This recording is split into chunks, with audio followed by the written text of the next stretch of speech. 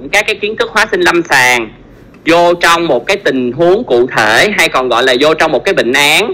Tụi em sau này sẽ là bác sĩ. Thì á các môn học này cũng như là các cái kiến thức mà tụi em học ngày hôm nay nó sẽ rất quan trọng để cho tụi em có thể mà áp dụng vào cái công cái công việc cũng như là cái hành nghề sau này của mình. Và từ cái cuốn sách đó đi đến cái bệnh án á, nó là một cái khoảng cách.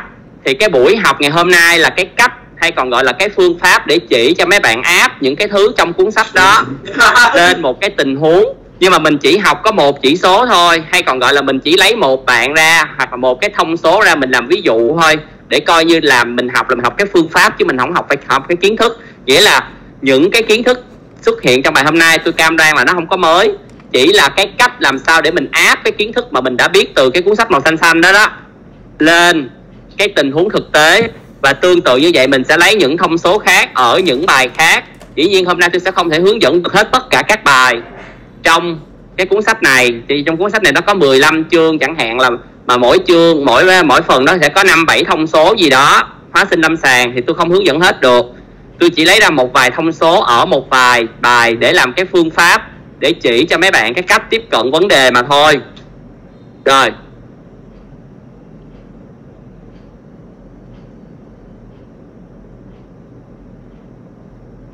Rồi. Bây giờ mục tiêu bài học ngày hôm nay nè. Mục tiêu bài học ngày hôm nay em sẽ mô tả được giá trị của các xét nghiệm liên quan đến các tình huống lâm sàng cụ thể.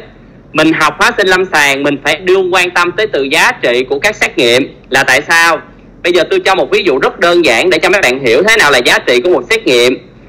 Học đường huyết, mấy bạn học rồi, đúng không? Bài rối loạn chuyển hóa carbohydrate nó có bệnh lý là đái tháo đường mình có một cái thông số hóa sinh lâm sàng rất quan trọng, đó là đường huyết đói.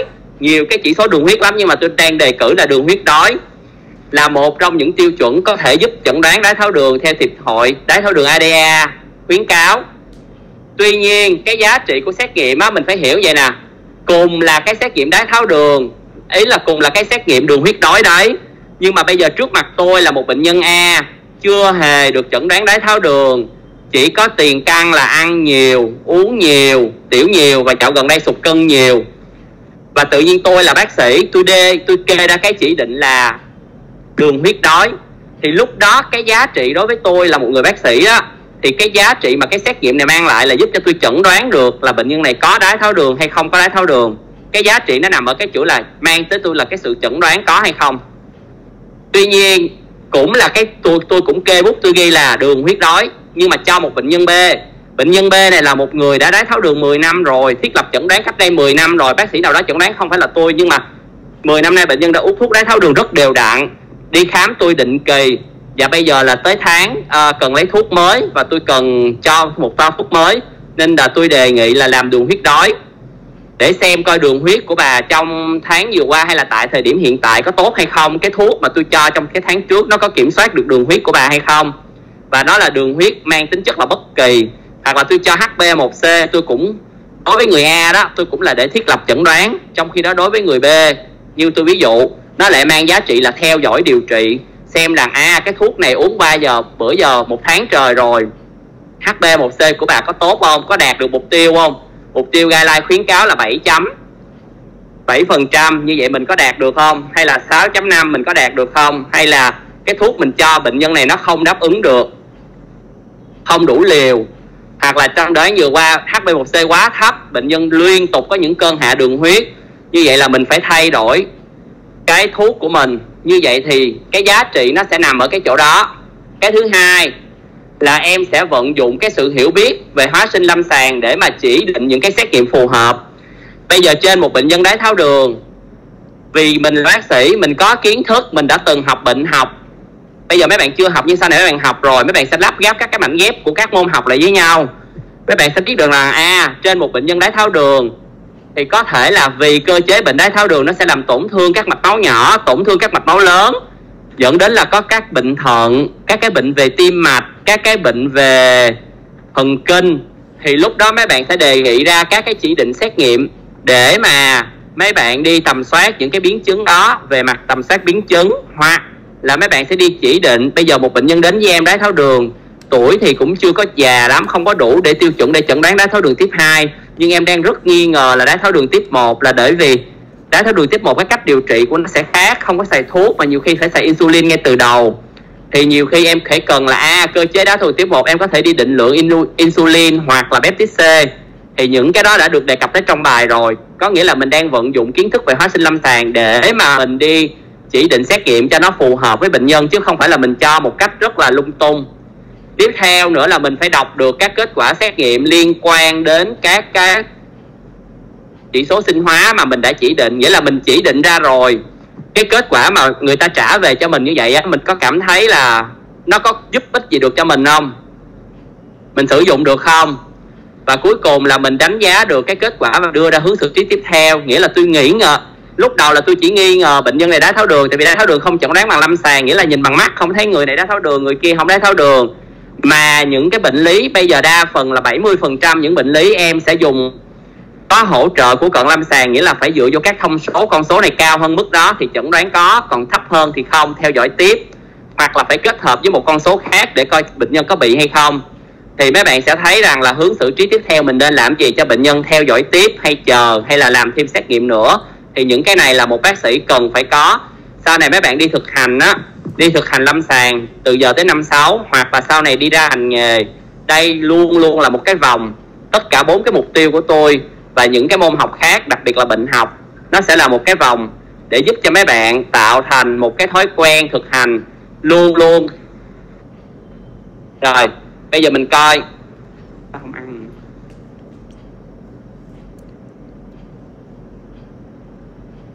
rồi, mọi người biết rằng á, khi mà mình tiếp cận với vấn đề sức khỏe của bệnh nhân á, thì trong y học á, người ta nói rằng là một vấn đề sức khỏe nó được tiếp cận tốt nhất bởi ba cái kênh thông tin, là ba cái chân. Tôi không biết là tại thời điểm này mấy bạn đã được học bao nhiêu cái kênh từ cái việc này rồi.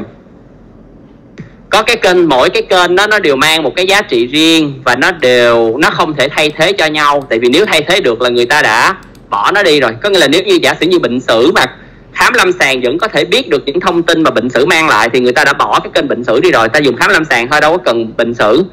Hoặc là nếu mà bệnh sử mà hỏi ra được những chuyện mà khám làm được á, thì khám lâm sàng đã không còn. Hoặc ngược lại, cần lâm sàng cũng vậy nên ba cái chân này được coi như là cái kiền ba chân rất vững trong tiếp cận một vấn đề sức khỏe y khoa. Bây giờ bệnh sử em sẽ thấy rằng là có những cái vấn đề mà em sẽ không thể khám được tại thời điểm đó em gặp bệnh nhân. Nhưng mà trước đó bệnh nhân bị rắn cắn hoặc là bệnh nhân bị một cái gì đó trong quá khứ, chỉ có cái lời kể của bệnh nhân hoặc là lời kể của người nhà bệnh nhân á, nó mới mang lại cái giá trị như khai bệnh nhân ói, máu ra đỏ tươi. Bây giờ em đâu có còn thấy cái đó đâu, nhưng mà chính cái lời khai của bệnh nhân á, nó là một cái kênh thông tin giúp cho em lụm, lấy lại được những cái thông tin mà bản thân hiện tại bây giờ em không lấy được. Thì đương nhiên nó có mang những cái nhược điểm là à có thể không chính xác, có thể bị sai sót do nhớ lại có thể các kiểu, nhưng cái giá trị mà nó mang đến đó là nó sẽ cung cấp cho em một số thông tin mà hiện tại và thậm chí tương lai em không thể quay lại có được. Trừ khi em phải nghe kể lại em mới biết được. Như con rắn nó đã cắn em, nó đã bò đi rồi nhưng mà người ta mô tả là con rắn nó có cái đuôi màu đỏ. Là em em hình dung ra trong đầu nó loại rắn gì, hoàn toàn em có thể chích được những cái thuốc giải cho bệnh nhân. Nếu đúng là bệnh nhân sẽ ra được, còn bằng không là sẽ không cứu được luôn. Kiểu như vậy cái thứ hai là thăm khám lâm sàng. Thì cái này nó sẽ mang tính chủ quan của người khám. Ví dụ như em khám em nói niêm nhạc. Nhạc nhiều. Bạn chia nhạc ít hoặc là gan to hay không to. Nhưng được một cái á, là nó cũng nó vừa một tính khách quan mà nó vừa cũng mang tính chủ quan của người khám. Nhưng được một cái là em hoàn toàn có thể đánh giá được và độ chính xác của nó là hoàn toàn do em kiểm định. Nhưng mà nó cũng có một phần chủ quan trong đó. Ví dụ như em khám em nói gan to bạn kia lại khó gan không to. Cứng không cứng chạm thận em thấy chạm bạn kia không chạm những cái đó nó đều mang tính chủ quan, nhưng nó đều có cái giá trị là em hoàn toàn chịu trách nhiệm với cái khả năng đó của em. Em đi lâm sàng nhiều, em khám nhiều, thì cái khả năng em tiếp cận với bệnh nhân á, em lấy được cái thông tin từ cái kênh này nó sẽ đúng, nó sẽ chính xác. Nên tại sao đi lâm sàng phải vô nghe tim bệnh nhân, coi thế nào là tim tách đôi, thế nào là cái gan to, thế nào là ran này, ran kia. Chắc là mấy bạn học khám rồi, đúng không? Học skill lab rồi, đúng không? Học kỹ năng lâm sàng rồi, nên chắc chắn là sẽ biết ở cái môn này thì mình sẽ đi vô cái chân thứ ba là cận lâm sàng. Cận lâm sàng là một cái vùng rất rộng. Nó có mang những cái thông tin rất là khách quan. Đo đạt ra những con số bao nhiêu là bấy nhiêu, đường trong máu 50 là 50 100 là 100 dao động hầu như rất ít. Chỉ do mình làm sai hoặc là mình bảo quản mẫu không đúng thì nó mới dẫn đến những sự sai sót đó. Còn hầu như cái này hoàn toàn khách quan vì do máy nó làm. Chụp x quang cũng vậy, có cái khối trong phổi là có trong phổi. Thì cận lâm sàng nó sẽ đề cập hết luôn tất cả những gì liên quan tới xét nghiệm và kể cả hình ảnh học tùy vô cái bệnh đó nó cần uh, xét nghiệm là nổi trội để có thể theo dõi chẩn đoán tiếp cận hay là tùy vô cái bệnh đó cần phải thấy hình ảnh học. Ví dụ như những bệnh ung thư thì đương nhiên là mình có thể xét nghiệm những cái chất những cái mạc cơ ung thư nhưng ngoài ra hình ảnh học giải phẫu bệnh là quan trọng nhất là tiêu chuẩn vàng để thấy một tế bào ung thư thì mới dám kết luận là cái cục đó có ung thư hay không. Thì cận lâm sàng nó là một cái vai trò như vậy. Mỗi cái chân nó đều có cái vai trò riêng thì khi mình học 6 năm á có những cái mảnh ghép mình sẽ học ở năm 2 những mảnh ghép mình học ở năm 3 bệnh học là coi như cái cột sống cái quan trọng nó sẽ nằm xuyên suốt và điều trị nữa. Thì mình từ từ mình lắp ghép các cái mảnh ghép đó lại thì mình mới dựng hết ba cái dòng màu tròn màu vàng để chỉ về phục vụ cho dòng tròn màu xanh là tiếp cận cái vấn đề sức khỏe đó bệnh nhân. Mỗi bệnh là một cái vấn đề sức khỏe.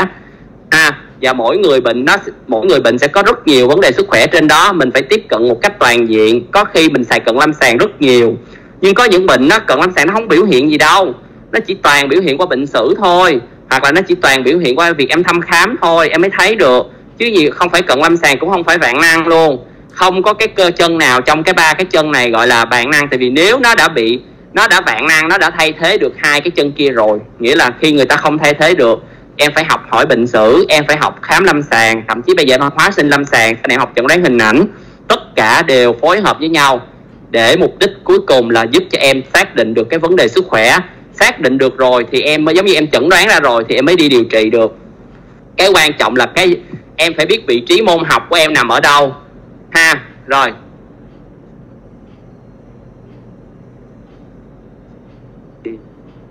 Rồi.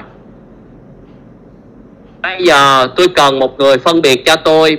Bây giờ tôi sẽ lấy một thông số tạm gọi là phổ biến.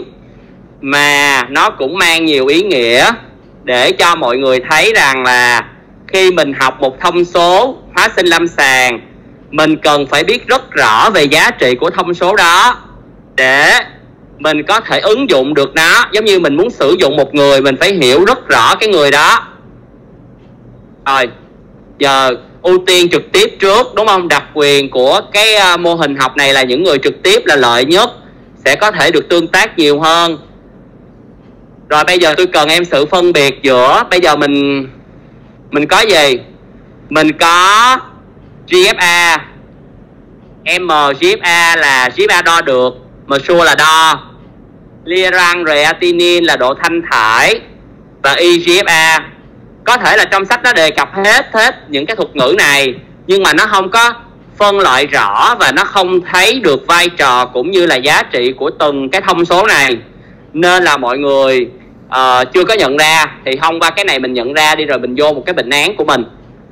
Rồi có ai cho tôi uh, biết GFA là gì? MGFA là gì? Clearance reatinin là gì? Và EGFA là gì không? Chưa đọc. Bài này đọc chưa? Bài thận chương mấy vậy? Hay quá, tôi lựa một bài chương gần cuối luôn. Rồi, mấy bạn ở nhà có ai có phát biểu gì không em? GFA là gì? EGFA là gì? Liran reatinin là gì? EGFA là gì?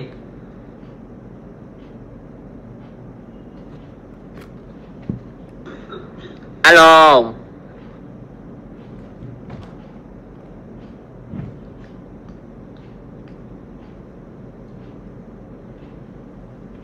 Ủa ở nhà có nghe không? Dạ còn nghe không dạ em?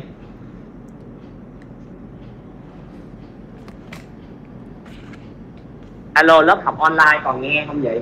Alo. Dạ còn nghe ạ.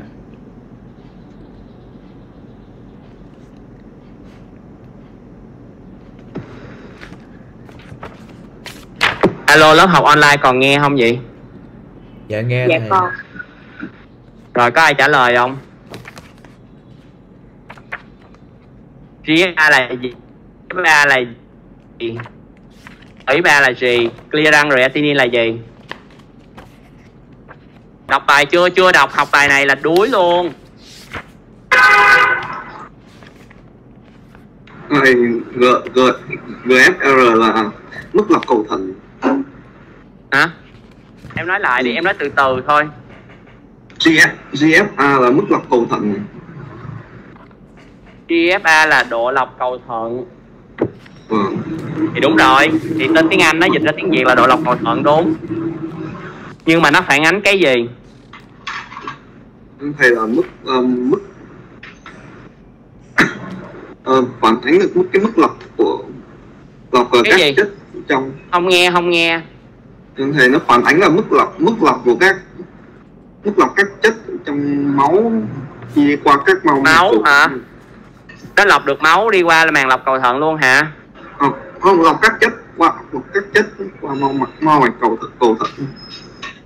Rồi.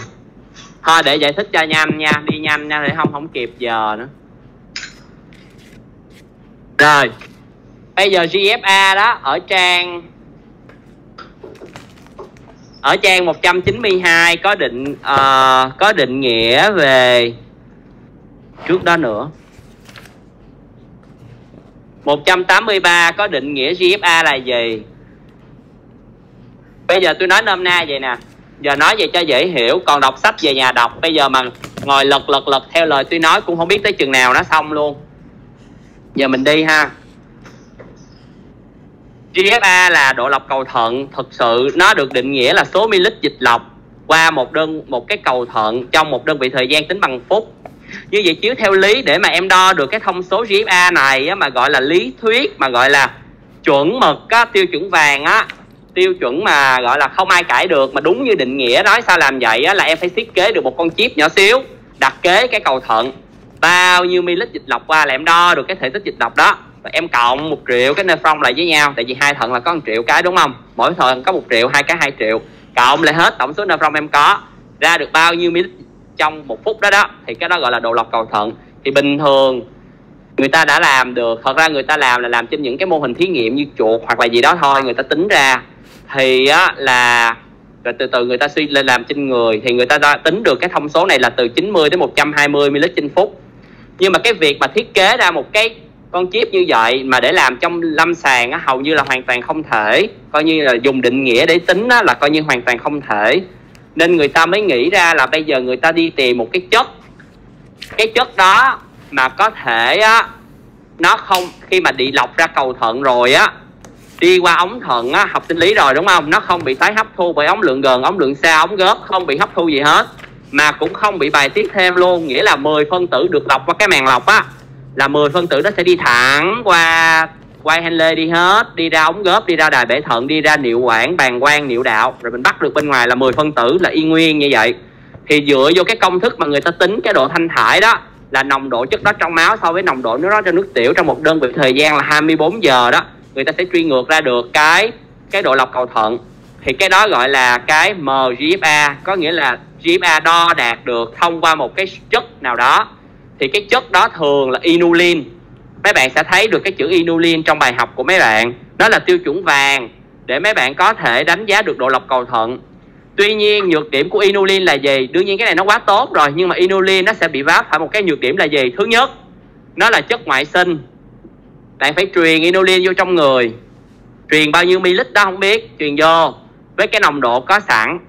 Sau đó mình phải theo dõi nước tiểu 24 giờ thì mình mới tính toán ra được cái chỉ số GFA đó đó chính là độ lọc cầu thận tính toán được. Thật ra trong thực tế mình chỉ tính được từ đây tới đây thôi. Con này coi như là lý tưởng, không bao giờ tính được. Không bao giờ đếm được số ml nước tiểu đi qua một đơn vị cầu thận trong vòng một phút hết. Mình chỉ bắt đầu tính được đây và tam giờ người ta coi như đây là tiêu chuẩn vàng rồi. Có nghĩa là một chất ngoại sinh thường là inulin, có nhiều chất lắm manitol nữa, trong sách có đề cập tới. Inulin hoặc manitol là tại vì nó lọc qua màng lọc cầu thận bao nhiêu là nó sẽ đi thẳng ra niệu quản bàng quang niệu đạo luôn. Không có được bài tiết thêm trên con đường nó đi mà cũng không bị thất thoát mất đi. Nên nó rất là phù hợp để đánh giá độ lọc cầu thận.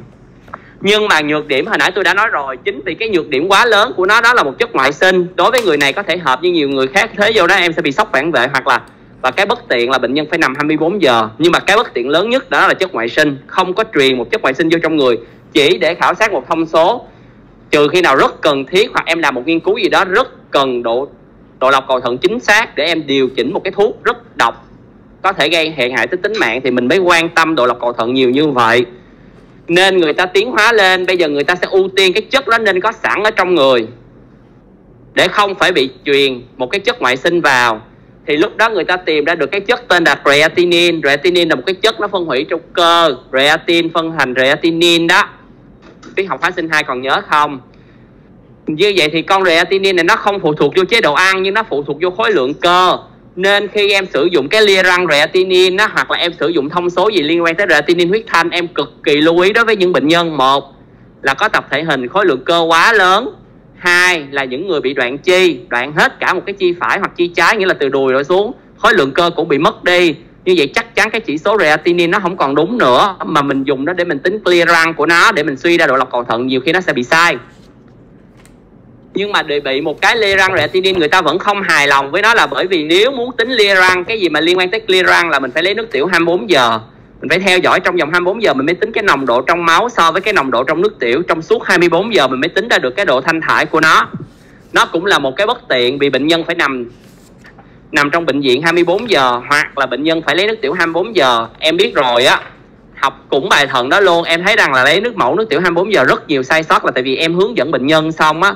Bệnh nhân lúc nhớ, lúc quên, và có khi là họ sẽ đi tiểu trong cái lúc họ tắm hoặc là họ đi đại tiện. Nhiều khi họ không lấy được cái lượng đó, thất thoát.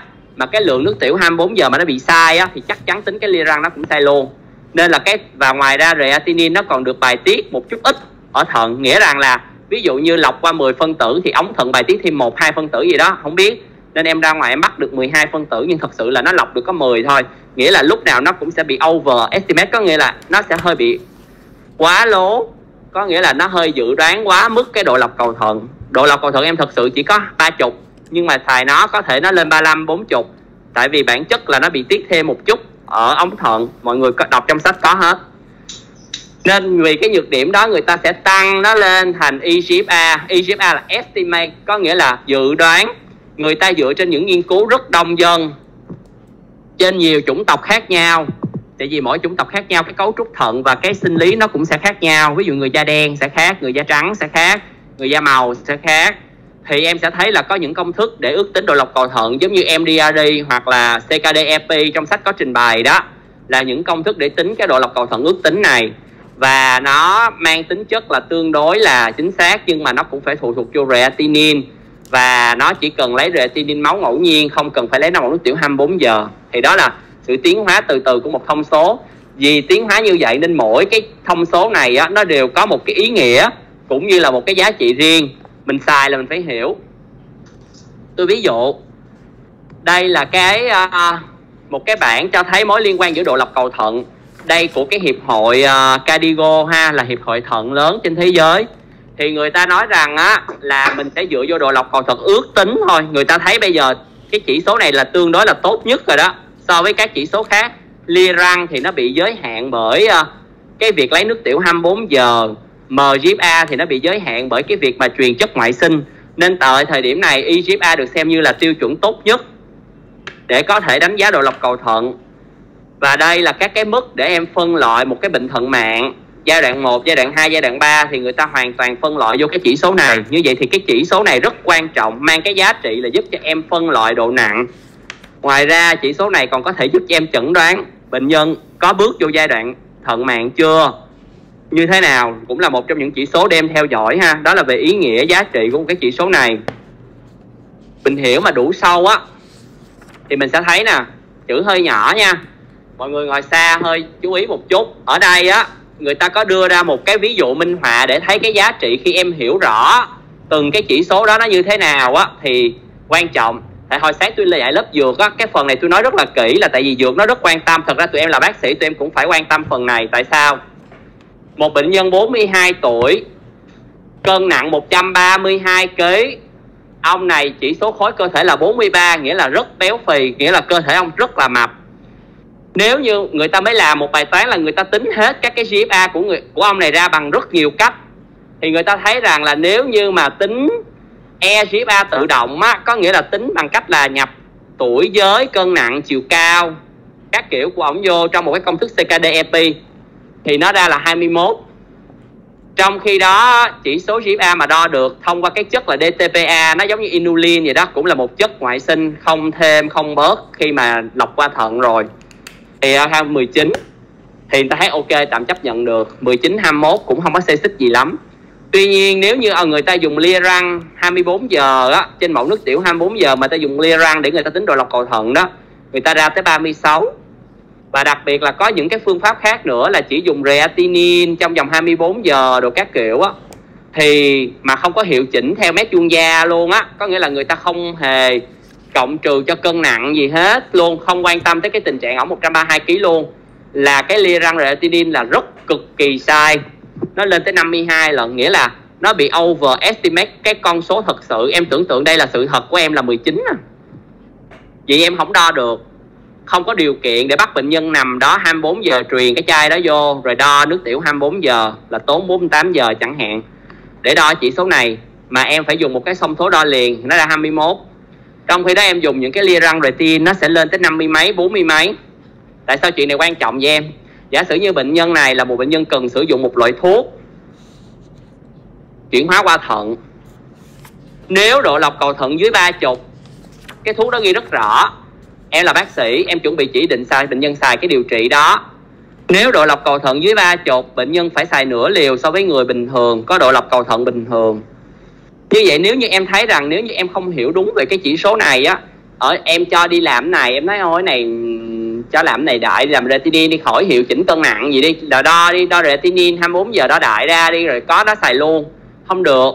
Em phải hiểu rằng retinin 24 giờ mà không hiệu chỉnh theo cân nặng á, rất sai lệch nhiều so với lại cái con số thực sự mình biết. Em không điều chỉnh liều luôn, tại vì 52 là trên ba chục rồi, theo khuyến cáo là xài nguyên liều của người bình thường. Em xài vô là bệnh nhân ngộ độc liền, tại vì em tưởng tượng nè cái chất thuốc á bản thân nó cũng là chất độc. Nó vô, bình thường á, theo nửa tiếng hoặc là 30 phút gì đó là nó sẽ được lọc ra từ từ, thời gian bán thải của nó qua thận. Bây giờ cái thận là một cái không lọc được. Nó cứ tới màn lọc cầu thận xong nó quay ngược lại tại vì thận không lọc được. Thì cái nồng độ của nó trong máu sẽ rất là cao. Mà cao như vậy thì nó sẽ tác động lên các cơ quan gây ngộ độc. Nên là vì thế tại sao em cần phải giảm liều nếu một cái thuốc được chuyển hóa qua thận, được đào thải qua thận là cực kỳ quan trọng. Rồi đó là nói về cái vai trò của một cái chỉ số sinh hóa cho mấy bạn thấy được rằng là một chỉ số sinh hóa nào đó đó, mấy bạn học, mấy bạn phải học kỹ nó tới cái mức là nó có những cái ưu nhược điểm gì, đặc biệt là những cái chỉ số mà không có đo trực tiếp được. Ví dụ như men gan đo trực tiếp mình không nói, những cái con số ước tính ước tính như vậy nè, là mình phải hiểu rõ nó, tại sao mình phải ước tính. Ước tính như vậy, mức độ chính xác tới bao nhiêu so với cái sự thật mình đo, để mà mình có cái hướng tiếp cận và xử lý đúng. Trong bài á trong bài nước tiểu nè, trong cái bài thận nước tiểu này nó cũng có hai cái thông số. Tôi cần nhắc mọi người là định lượng protein. Mấy bạn đọc đọc đọc, mấy bạn thấy, ủa, có cái khúc mà dùng 10 thông số á. Cái gì mà bạch cầu, hồng cầu nitric gì đó. Ở trong đó người ta có đề cập tới protein. Xong tự nhiên lại có một cái phương pháp là định lượng protein nữa 24 giờ. Trên mẫu nước tiểu 24 giờ rồi lại có một cái phương pháp nữa là định lượng protein qua cái chỉ số AUCR ủa, tại sao phải nhiều phương pháp vậy? Cùng là con à. Như vậy thì mỗi cái chỉ số sinh hóa lâm sàng như vậy á, nó có sự khác biệt gì hay không? Rất là quan trọng. Tổng phân tích nước tiểu 24 giờ này, đúng là nó có phát hiện được protein, nhưng cái protein trên cái que nhúng đó đó chỉ là albumin thôi, nó không phát hiện được globulin như vậy trong những cái bệnh lý mà em tiểu ra đạm rất nhiều nhưng mà bản chất cái đạm đó của em là globulin á là kháng thể á là em sẽ nhúng que cái que nó không có lên màu. Cái que ngay cái ô mà protein nó không đổi màu tại vì cái protein của em là protein globulin trong khi đó cái thuốc thử đối với cái nước protein trên tổng phân tích nước tiểu này. À, à. cái protein trong nước tiểu á nó sẽ là protein albumin chẳng hạn, thì nó mới lên cái màu của cái que, ha. Cái thứ hai, mình phải biết được là cái kỹ thuật này nè, cái protein đo trong này nè, trong sách cũng có ghi rất là rõ. Cái ngưỡng của nó chừng 5 gram trên lít thôi. Đối với bệnh lý hội chứng thận hư, sau này chắc chắn là trong khóa của mình sẽ có những người làm về thận. Hội chứng thận hư là mọi người biết là tình trạng mà nó sẽ tiểu đạm, rất là ồ ạt, là mất áp suất keo trong trong mạch máu luôn, bệnh nhân sẽ phù toàn thân cái lượng tiểu đạm đó một ngày có thể lên 15 gram protein tiểu rất nhiều, rất dữ dội. Thì á, em sẽ không thể nào em nhúng que. Em nhúng que nó vẫn hiện ba cộng. Em điều trị cho bệnh nhân rất tích cực. Ngày mai em lại nhúng que. Em thấy em vẫn ba cộng. Em nói bệnh nhân không đáp ứng điều trị. Em tăng liều tăng liều. Nhưng mà các em sai. Em không hiểu rằng là cái protein, cái albumin trong cái que này nè, maximum của nó là 5 gram là nó 3 cộng 5 gram là tương ứng với 3 cộng bây giờ em 7 gram nó cũng 3 cộng. Nó không có cái ô 4 5 cộng 6 cộng, mọi người hiểu không? Maximum của cái màu đậm nhất, màu xanh đậm nhất của nó là 3 cộng. Như vậy nếu em cứ theo dõi nó, dùng cái này, em hy vọng rằng là em dùng cái chỉ số a, albumin hay là chỉ số protein trong cái que phân tích, tổng phân tích 10 nước thông số này để em theo dõi điều trị một bệnh nhân hội chứng hư là quá sai rồi, em đã sử dụng sai giá trị của nó rồi. Nó chỉ mang cho em tính chất là tầm soát thôi mẫu đó có nước có đạm hay không có đạm thôi. Còn bây giờ em đã chẩn đoán là chắc chắn bệnh nhân hội chứng thận hư là tiểu đạm rất đại thịt tiểu đạm gọi là ồ ạt. Mà bây giờ em lại dùng nó để em theo dõi là bệnh nhân em dùng corticoid cho bệnh nhân có bệnh nhân có hồi phục không? Bệnh nhân ngày tôi nói thiệt em đó, đó những cái bệnh nhân hội chứng thận hư á, muốn theo dõi làm gì? Phải định lượng nước tiểu 24 giờ. Bắt buộc cho dù bệnh nhân có bất tiện tới cỡ nào em cũng phải sử dụng con này chứ không nói trời ơi bệnh nhân nước tiểu 24 giờ bất tiện lắm không lấy được đâu, làm tổng phân tích nước tiểu đi cho lẹ. Không được là không được. Có những cái chỉ số bắt buộc mình phải xài vì cái giá trị nó mang lại. Tại sao? Tại vì định lượng nước tiểu protein 24 giờ nó sẽ phản ánh rất chính xác cái lượng protein trong cái nước tiểu đó. Bệnh nhân ngày hôm nay bị hội chứng thận hư tiểu 15 gram em điều trị tích cực cho bệnh nhân. Bệnh nhân xuống 10 gram em làm định lượng nước tiểu 24 giờ, em thấy liền. Rồi em thấy bệnh nhân đang cải thiện tích cực. Em tiếp tục duy trì và chỉnh liều cho nó phù hợp còn em dùng que là em nhúng vô. Hôm nay 15 gram nhúng vô 3 cộng, ngày mai 10 gram vẫn 3 cộng. Mai mốt nó xuống 8 gram vẫn 3 cộng. Nó xuống 7 gram vẫn 3 cộng. Em nói chờ bệnh nhân gì không đáp ứng gì hết, em cứ tăng tăng tăng corticoid. Bệnh nhân suy tiến thượng thận cấp luôn. Em hiểu không? Rồi, đó là cái ý nghĩa của một cái xét nghiệm. Em xài, em phải biết cái giá trị nó nằm ở đâu, chứ không phải, ôi, định lượng protein đó nha, là làm vậy rồi ngoài ra, nhưng mà nếu như mà thật sự mình không quá quan tâm, ý là mình không quá khắc khe đối với cái con số protein trong nước tiểu này, mà phải lấy bằng nước mẫu nước tiểu 24 giờ cũng như mẫu nước tiểu 24 giờ có thể mang lại những cái gọi là guideline á, người ta có thể cho mình định lượng protein nước tiểu bất kỳ. Nhưng mà phải là định lượng nha, chứ không có còn gọi là là ấy. Thì mình có một cái tỷ số AUCR đó, để mình có thể giúp mình định lượng protein, hoặc là mình dùng cái tỷ số đó để mình ước lượng cái protein 24 giờ cái tỷ số AUCR đó, mọi người coi lại cái ý nghĩa của nó là gì? Nó sẽ là định lượng protein ngẫu nhiên, nhưng mà mình chia cho creatinine máu tại thời điểm đó luôn. Thì mình sẽ ước lượng được cái này, nó sẽ giúp đánh giá tình trạng tiểu albumin và ý nghĩa của nó, giá trị có đó. Mai mốt hỏi đó.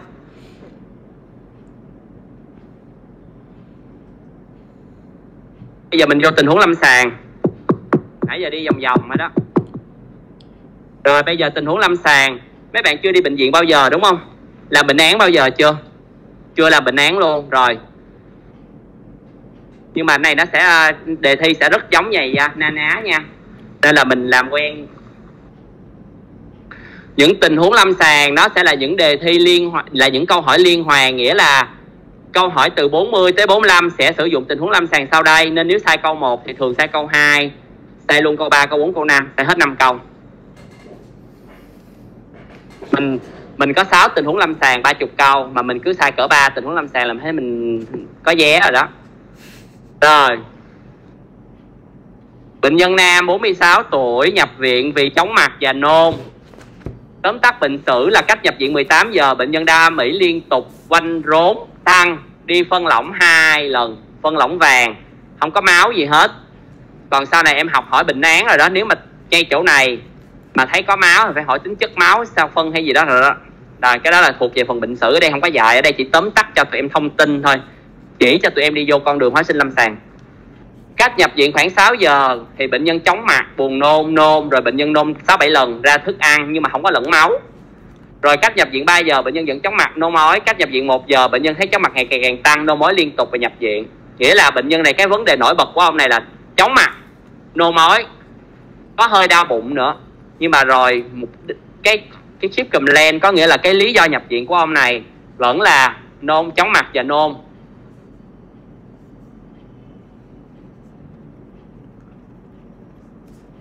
Lúc mà nhập viện á, thì khám á, bác sĩ tại thời điểm cấp cứu á, khám cho ông này á, thì nhập viện là ổng tỉnh tiếp xúc tốt Glasgow của 14 trên 15 Glasgow là một cái thang điểm. Sau này mấy bạn học, mấy bạn sẽ biết.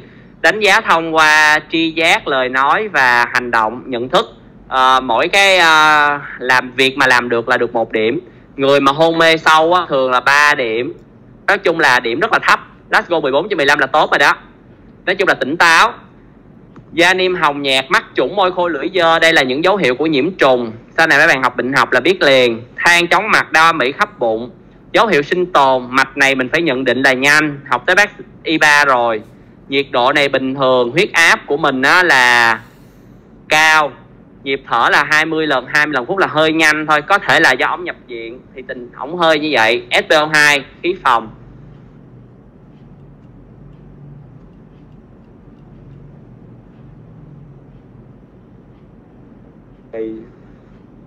Rồi, tiền sử ông này thì hơi dài.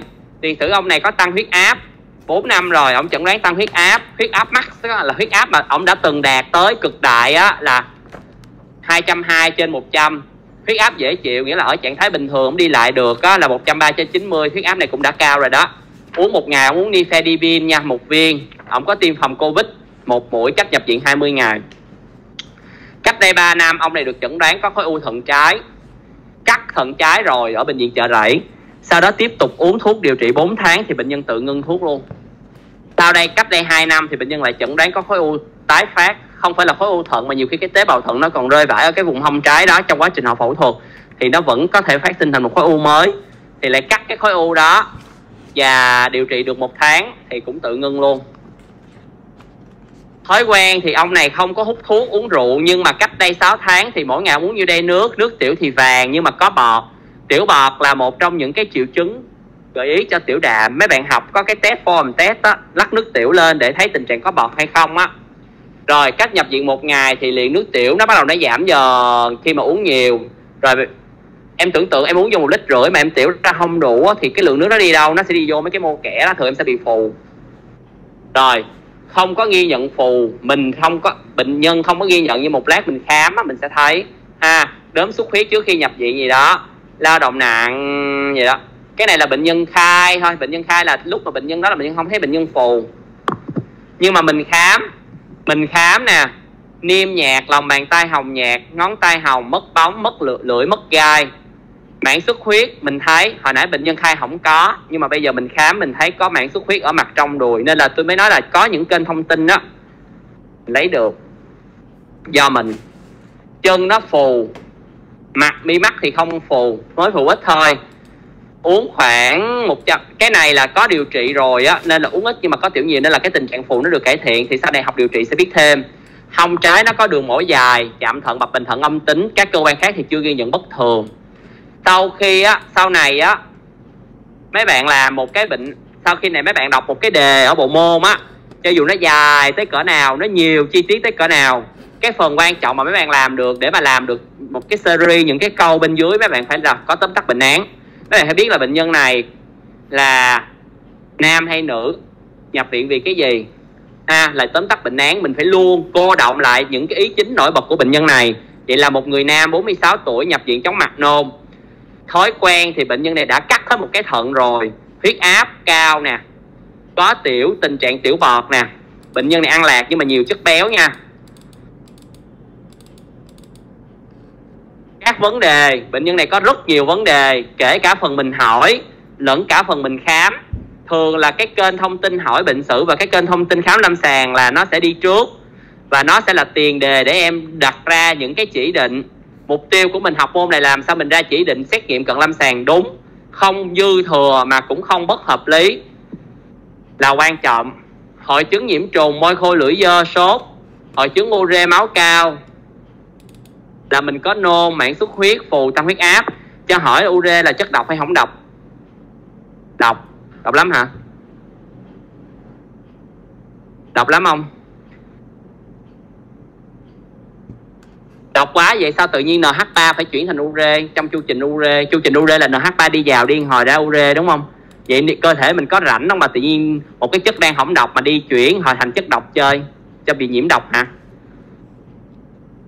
Bản chất ure nó ít độc hơn là NH3 nên cái tên danh cái cụm danh từ này bây giờ mình cũng ít gặp lắm. Người mấy thầy lớn á, thì thường hay gọi là hội chứng ure huyết máu cao.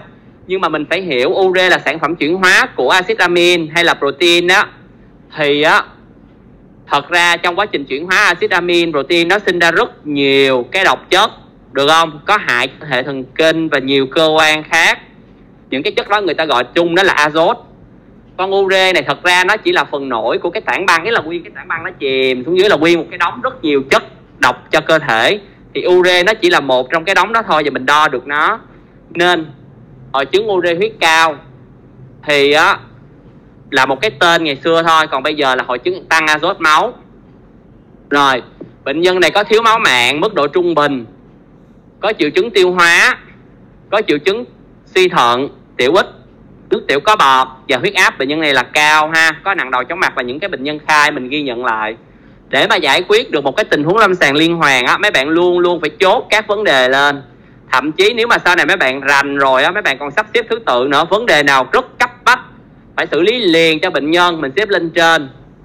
Được không? Ví dụ như nhiễm trùng nè, là phải xếp lên ure huyết là kéo lên, thiếu máu mạng xếp lên, đi tiêu phân lỏng. Cái suy thận với cái huyết áp này mình có thể điều trị lâu dài được được không? Những cái nào mà điều trị lâu dài không mà ảnh hưởng cấp bách tới tính mạng mình đưa xuống, cái đó là thuộc về phần bệnh học, nhưng mà tôi chỉ cho mấy bạn vậy đó, đặt vấn đề cũng vậy. Để chi? Nếu mà mình đưa ra các chỉ định xét nghiệm để mà có thể tiếp cận vấn đề sức khỏe đó của bệnh nhân á, thì mình có thể đưa ra ưu tiên cho những cái vấn đề đang nổi bật của bệnh nhân. Rồi, chẩn đoán sơ bộ ha, là cái này mấy bạn học bên nội. Thì với bệnh nhân có các vấn đề này á, thì mình cần phải làm cái gì? Thì mình sẽ đề nghị các cái xét nghiệm cho bệnh nhân. Bây giờ cho tôi hỏi bây giờ coi như là mai mốt đề thi á là sẽ tới cái khúc mà cái câu hỏi hỏi nãy đó là theo em là cái bộ chỉ định xét nghiệm nào là phù hợp? Tôi cho 20 cái chỉ định xét nghiệm. Sau đó cho em chọn ra 5 trong đó hoặc là 7 trong đó thì cái đáp án nào là đúng? Ví dụ tôi chọn 1, 5, 7, 9, 10 hay là 1, 7, 10, 12, 15 thì em phải chọn. Rồi bây giờ bệnh nhân này tôi cho đường huyết với lại HB1C có gì không?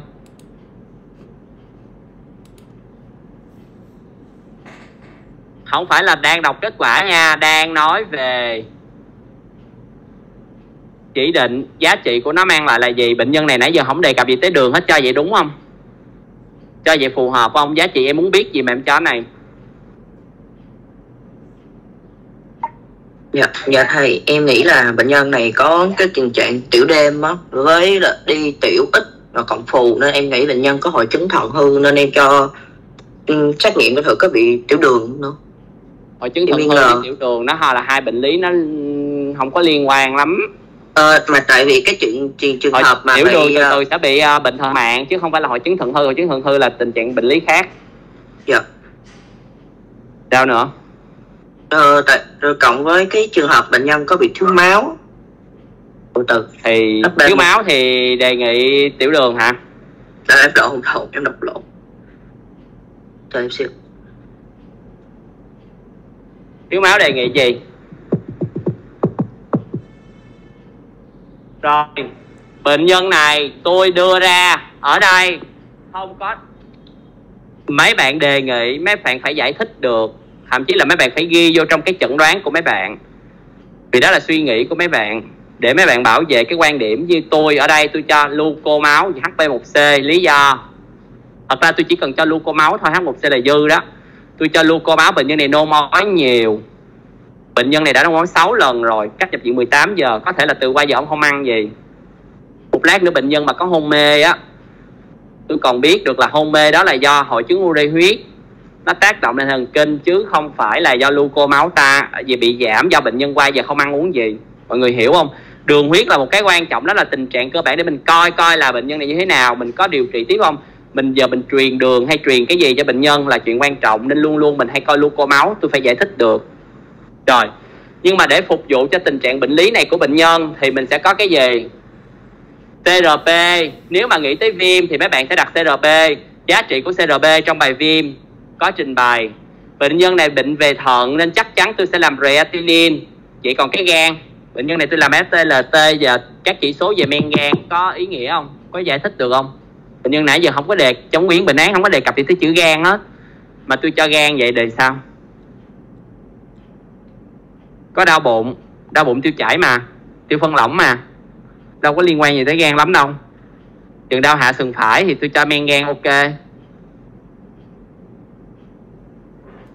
Em ơi, khi mà em, bệnh nhân mà đến với em chắc chắn em phải điều trị cho bệnh nhân, đúng không? Điều trị là dùng thuốc. Thuốc sẽ chuyển hóa qua gan hoặc là thận. Em cần phải biết cái tình trạng ban đầu của cái gan bệnh nhân này như thế nào. Nên nói chung á, cho dù em đề đề nghị em phải giải thích được một là giải thích cái vấn đề bệnh nhân đang có, hai là để khảo sát cái tình trạng hiện có của bệnh nhân để mà tiếp cận với bệnh nhân. Công thức máu, bây giờ không kịp để chỉ cho mấy bạn đọc tình trạng nhiễm trùng nè mình sẽ coi bạch cầu neutrophil ha. Đọc sơ thôi ha. Mấy cái này mấy bạn sẽ biết được thêm ở những cái bệnh án nội khoa. Là mấy cái à, à nó bị mất hết mấy cái con số về à, đường à, về cái này là rối loạn điện giải tại bệnh nhân nôn ói nhiều natri giảm nha. Nó sẽ nằm trong bệnh là án bệnh lý rối loạn nước điện giải luôn. Rồi. Thì khi mà mình ra một cái chỉ định, thật ra cái này chỉ là cho mấy bạn một tình huống lâm sàng. Xong, mấy bạn phải giải quyết từng cái vấn đề. Ví dụ bây giờ tình trạng nhiễm trùng, thì mấy bạn cho ra chỉ định gì? Hồi nãy tôi đã nói đó, tôi sẽ cho ra công thức máu để tôi coi bạch cầu. Thứ hai, tôi có thể coi tình trạng viêm bằng cách là tôi cho CRP vậy nhiều người hỏi tôi cho CRP hay rocalcitonin mời đọc lại sách để thấy được sự khác biệt giữa hai con, nhưng không đồng thời cho hai con ai mà vừa đề nghị CRP vừa đề nghị rocalcitonin cùng một lúc trong bệnh án này?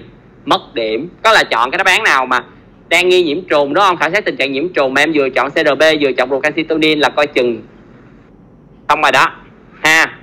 Cũng như vậy, những cái mà xét nghiệm mà tôi đưa ra đó, đều giải quyết cho từng cái vấn đề của bệnh nhân. Mọi người tập. Vấn đề thứ hai là tình trạng nhiễm, tình trạng nhiễm trùng là nhiễm trùng đường tiêu hóa của bệnh nhân đó.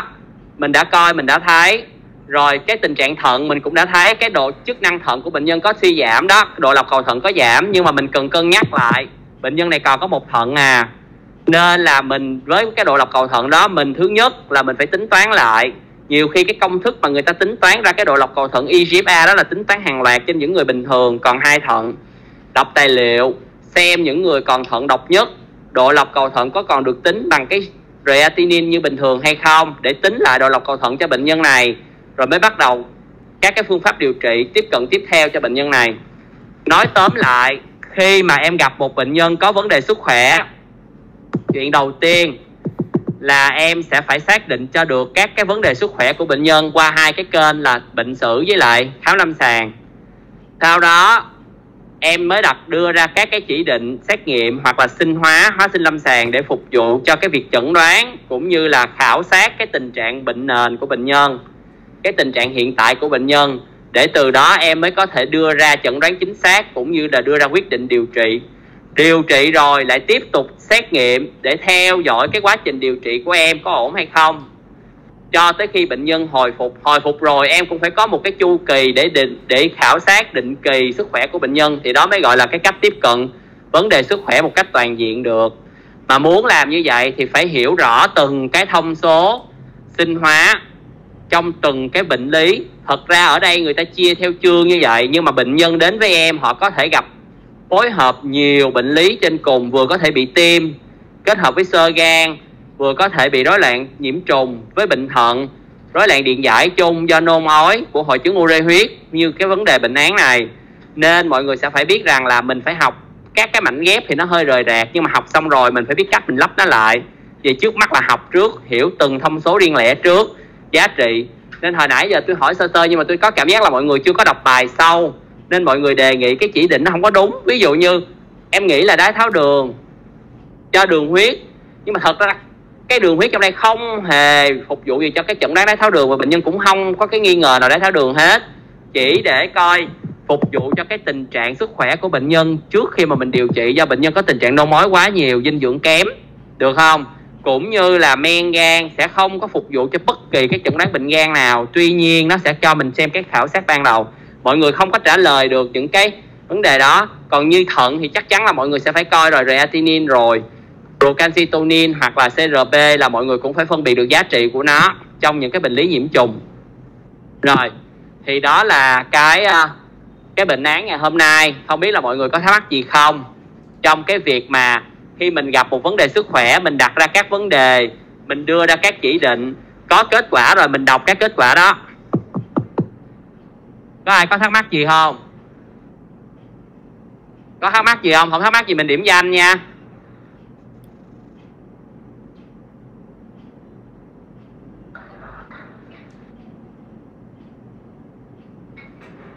Đúng rồi. Bộ môn sẽ không bắt tụi em à, chẩn đoán bệnh nhân đó bị gì hoặc là xác định vấn đề bộ nhân bộ môn sẽ cho hết các vấn đề bệnh nhân đang có. Xét nghiệm nào sau đây phù hợp? Một hai ba bốn. Có hai chục cái xét nghiệm. Em sẽ lựa chọn các xét nghiệm phù hợp với cái tình huống đó. Thì thường là em hiểu là bệnh nhân đang có vấn đề gì bị cái gì hoặc là vấn đề đó cần cái xét nghiệm nào thì em mới chọn cái đáp án đúng được.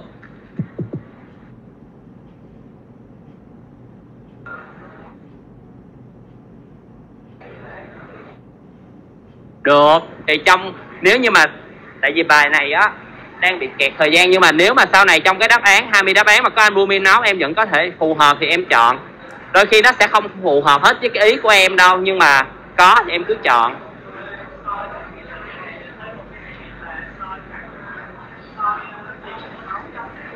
Được. Thật ra em làm tổng phân tích nước tiểu em có thể thấy được hồng cầu mà nếu em chỉ mới giai đoạn tầm soát thôi thì em khỏi soi, tại vì soi nó cực hơn là em có thể tổng phân tích nước tiểu mùi thông số.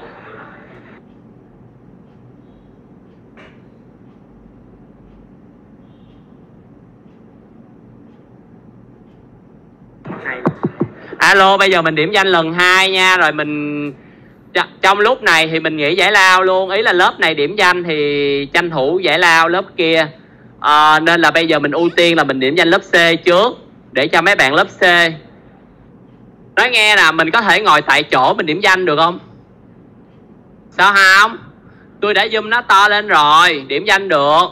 Được. Đừng có đi xuống đây nó ồn lắm. Nói nghe nè điểm danh á, nếu mà mình nghe mấy bạn ở nhà nghe luôn, nếu mà mình dơ nó lên mà nó không ăn á, thì mình thoát nó ra, giống như là mình mình thoát khỏi cái app luôn, rồi mình vô lại, thì mình dơ lên nó sẽ được.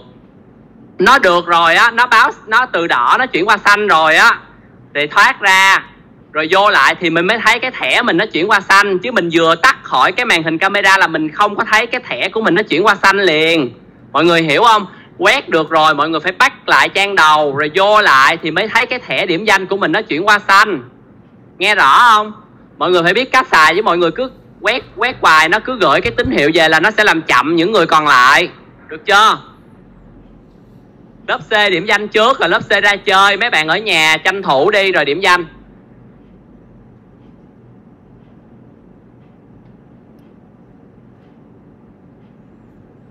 Rồi sao? Ý là giờ sao?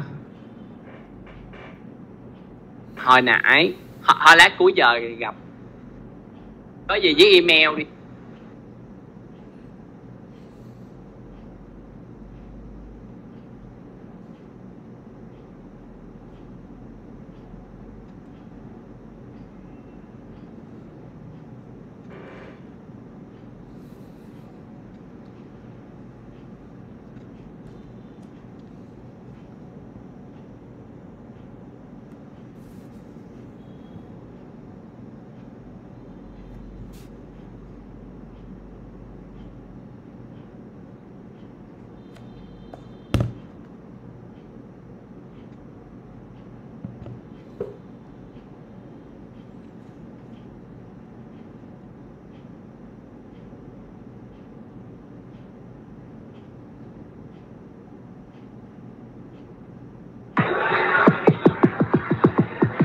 Ai điểm cho anh xong rồi có thể nghỉ giải lao 5 phút.